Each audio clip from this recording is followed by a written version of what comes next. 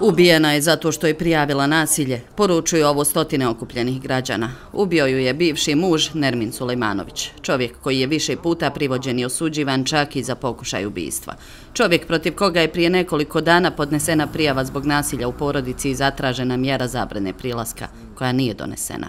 Epilog svega je ubistvo nizami pred bebom na stravičan način, a potom ubijanje još dvije osobe te ranjavanje tri.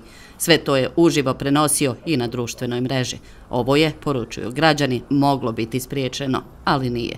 On je bio tu, evo, tu, poviš, uzimao municiju. Nego sreća što je bio trgovac toliko pribranka. Mu je čovjek pokazao pištolju u čal da je dao lažnu municiju. E, ne mogu ni zamisliti šta bi se dešao dalje da on imao 200 metaka pravi metaka. Ovdje je sistem zakazao stvar. Ja sam bila lično dole kad je čovjek proletio krvav. On nije bio čovjek, on je bio van sebe, van neke pameti. Ne znam ni ja šta, kako bi vam ga ovaj, opisala. I ovo što je se dešavalo, žao mi je naše nizame, a svi smo mi nizama. Među okupljenim građanima je i jedna koja kaže prolazi isto što i nizama, a prijave nisu urodile plodom. Nažalost, ona je završila tragično, ja još nisam. Možda mogu sutra ja da tako završim. Trudit ću se da ne završim. Ali vlasti moraju da reaguju. Pravdu, adekvatan rad nadležnih organa i pravovremene reakcije radi zaštite građana od nasilja na skupu su tražile i nizamine kolegice iz firme, vidno potresene i razočarane. Da su reagovali na vrijeme, zato ja nosim ovu parovu, ne bi se to desilo. Ovo je gore nek divlji zapad šta se radi, šta se dopušta. Oslobodi se svega i da, i da na kraju žena ubije.